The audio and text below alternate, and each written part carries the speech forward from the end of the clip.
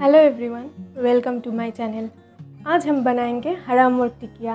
ये बहुत ही सिंपल सी एक रेसिपी है और इसे आप चट जल्दी घर पे बना सकते हैं बहुत ही कम इंग्रेडिएंट से। वीडियो शुरू करने से पहले जो भी मेरे चैनल पे नया है वो ज़रूर सब्सक्राइब करें। तो चलिए शुरू करते हैं।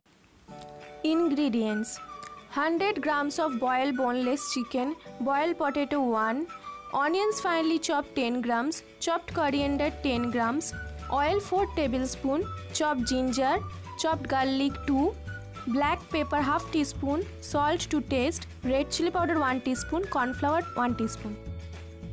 पहले एक मिक्सिंग बोल लीजिए आप उसमें बॉईल किया हुआ पोटैटो लीजिए और उसे अच्छे से मैश करिए अब उसमें बॉईल किया हुआ चिकन पेस्ट लीजिए चिकन को बॉईल करके ग्राइंडर में पेस्ट कर लेना है। फिर उसमें चॉप्ड किया हुआ अनियंस मिला लीजिए अच्छे से।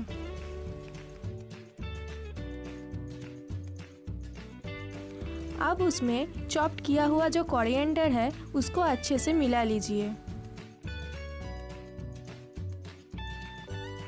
अब उसमें एक एक करके चॉप किया हुआ ginger garlic red chilli powder स्वाद अनुसार नमक और क्रश्ड किया हुआ ब्लैक पेपर दीजिए। और फिर वन टीस्पून कॉर्नफ्लावर मिला लीजिए। अब सब चीज़ को एक साथ मिक्स कर लीजिए। आप उसे छोटे छोटे कॉइन शेप्ड टिकियास की तरह बना लीजिए।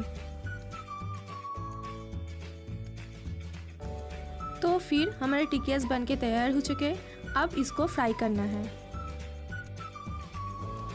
एक पैन लीजिए और उसमें फोर टेबलस्पून ऑफ़ ऑयल लीजिए। फिर इसको गर्म होने के लिए छोड़ दें। ऑयल गर्म होने के बाद गैस के फ्लेम को रिड्यूस करके मीडियम कर दीजिए। फिर एक एक करके सारे टिकियास को सैलो फ्राई कर लीजिए। जब एक साइड ब्राउन हो जाएगा, फिर दूसरे साइड को भी ब्राउन कर ले और फिर आपके टिकियाज बन के रेडी हो जाएगा।